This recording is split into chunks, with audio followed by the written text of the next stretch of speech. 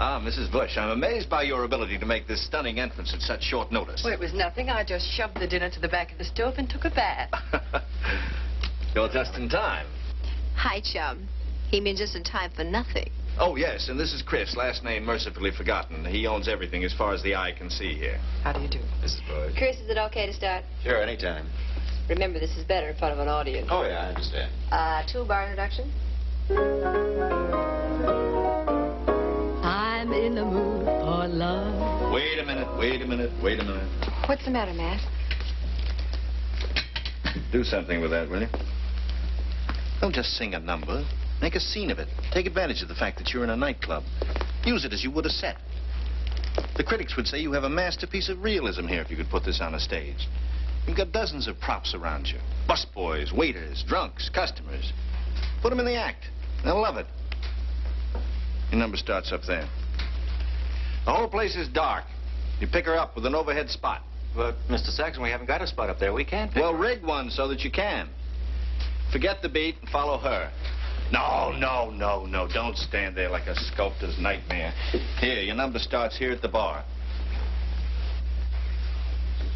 This thing got a verse? Oh, Matt, no one sings verses anymore. That's old-fashioned. Nothing that is good and has a purpose is old-fashioned.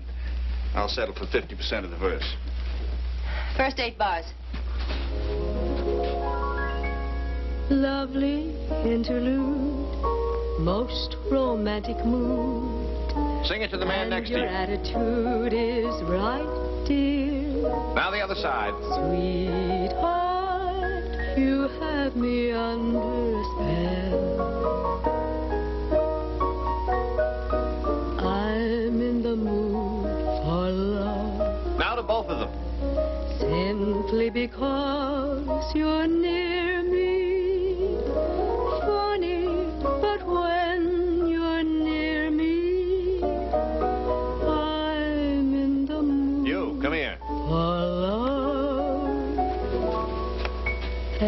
Heaven is in Have 'em your here every night. Bright as the stars we're under.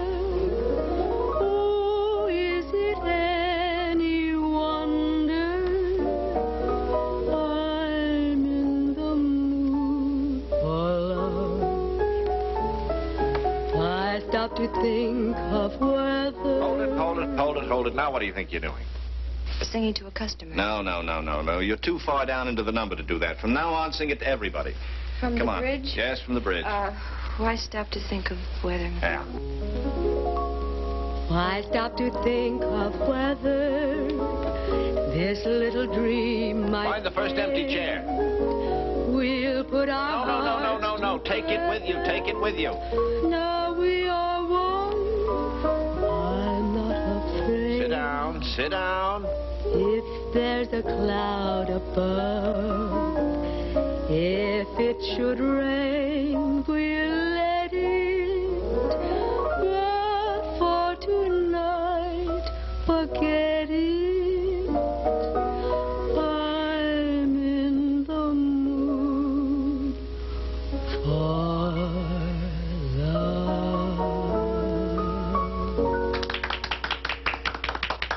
not worried, Mr. Saxon. She's okay. She's better than that. Yeah.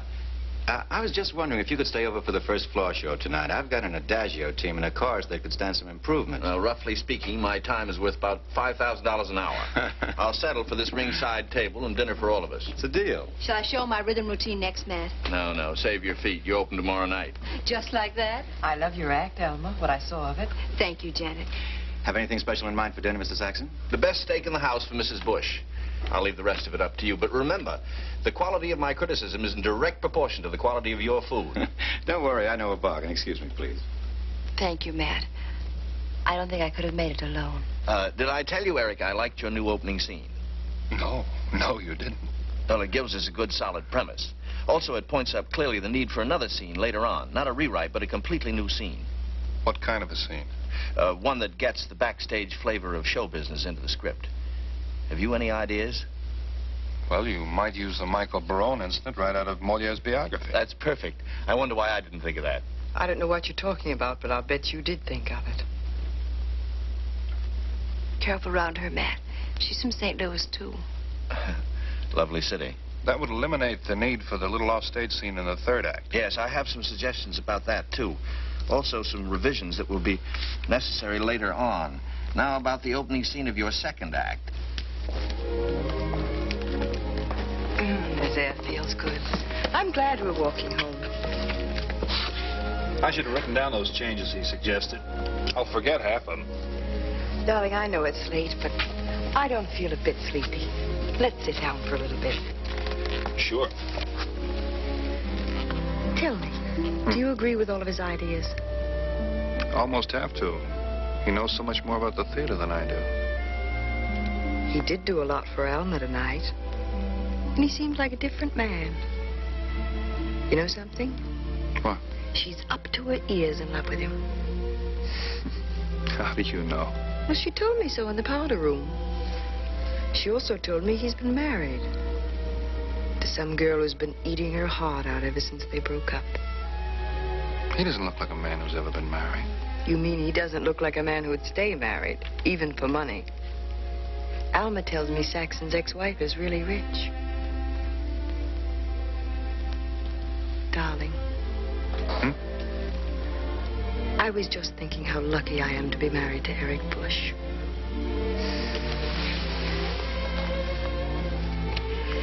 Maybe it's a foolish thing for a wife to say, but I think you're perfect just the way you are. Just the way you are. You sound like a bride.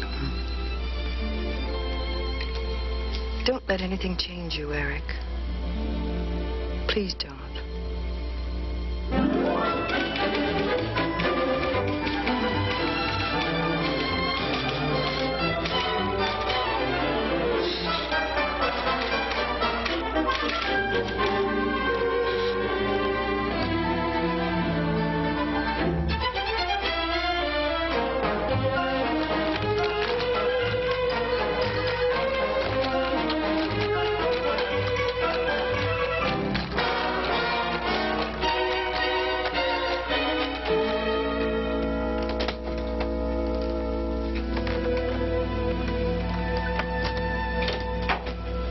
Turn the light on, dear.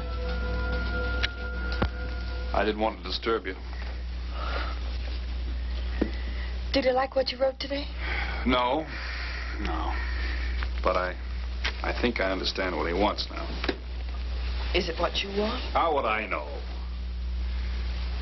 I'm sorry, dear. But I'm so completely confused I can't tell good from bad anymore. All I can do is keep rewriting until he's satisfied. I've never seen you this tired. No wonder you don't know what you're writing. At least I'm on the third act now and can't last much longer. Eric, Hmm? I know something as sure as I know my own name. Nothing you're going to write from now on is going to be any good. Unless you can get away from New York and nightclubs for a while. He likes to discuss each scene as I write it. Well, let him discuss them all at once.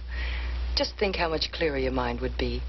How much better you could write if we could spend the next week at our home on the island. I'd love it. I'd love it. It just can't be done. Who says it can't be done? Listen, if Eric Bush wants to take his wife for a walk in the woods and fill his lungs with fresh air for a change and sleep through a long, cool night so he can write and really know what he's writing about, who's going to stop him? We'll leave tomorrow. I'll call Saxon's secretary first thing in the morning and tell her we're leaving for the island. I'm sorry there's no telephone, and Saxon will have his last act when I get back.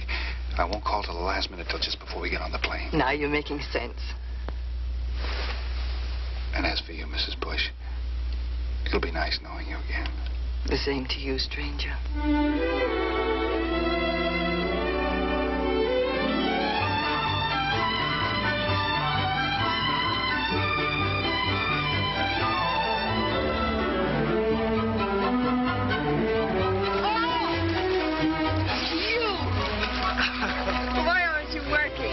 Why aren't you working? reached the curtain, the end. Wonderful. You know, I feel good for the first time since I finished that first draft and thought I had a play. You'll feel even better after you've relaxed for a few days. How much longer can we stay on the island? I'll mail him the third act. It should be at least a week till he gets the message back to me. Ah, Anyway, he's busy on the other play. one whole week. Our second honeymoon. Isn't it something? What's the matter? That yacht, whose is it? I don't know. Ahoy there, Eric Bush! Eric Bush! Ahoy! Matt Saxon. Oh, no. Eric Bush, ahoy! Hi, Matt. What a boat. I didn't know he had one. Let's swim over. They're stopping.